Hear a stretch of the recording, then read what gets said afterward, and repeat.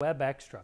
If you've lived in South Florida long or tracked hurricanes for long, you'll know that hurricanes don't come just one after the other throughout the season. They kind of come in groups or little spurts where you'll have a hurricane or maybe a few hurricanes and then you have a period where it's quiet and then they'll pick up again. Of course, the exception was in 2004 and 2005 when it seemed like they came one after the other, but the conditions were extremely favorable that year.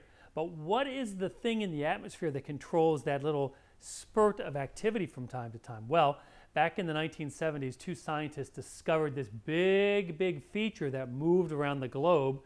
Uh, Madden and Julian were their names, and this wave, as we call it, or oscillation, was coined the Madden-Julian oscillation. So what is it? Well, it is this wave that moves around the globe very slowly, and it enhances thunderstorm activity. In other words, when the wave is coming over, thunderstorms are more uh, numerous, more powerful, more extensive, more widespread. The wave right now is in the Pacific, but as we know, it moves from west to east and will soon be in the Atlantic. Now, one of the features about the wave is besides enhancing thunderstorm activity, during hurricane season, it enhances hurricane activity as well.